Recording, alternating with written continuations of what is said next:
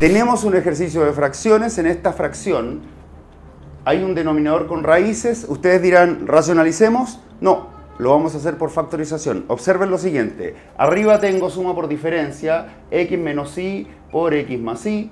Abajo repito al denominador. En segundo lugar, esta expresión cumple la condición para poder factorizarse con la forma a cuadrado menos b cuadrado porque como se dieron cuenta yo le saco raíz a este elemento, le saco raíz a este y formé los dos pares de binomios. Voy a hacer lo mismo con ese binomio que es el x menos y. Saco raíz del x, me quedaría raíz de x, saco raíz del y, me quedaría raíz de y por el binomio suma.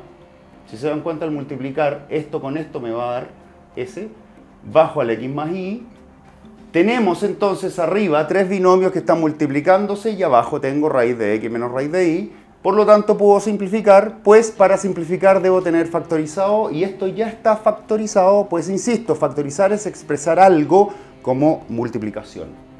Adiós, adiós y tenemos la respuesta. Raíz de x más raíz de y por x más y es la manera más simplificada de expresar esa fracción. Espero que les haya gustado. Mañana les voy a regalar otro truco. Nos vemos.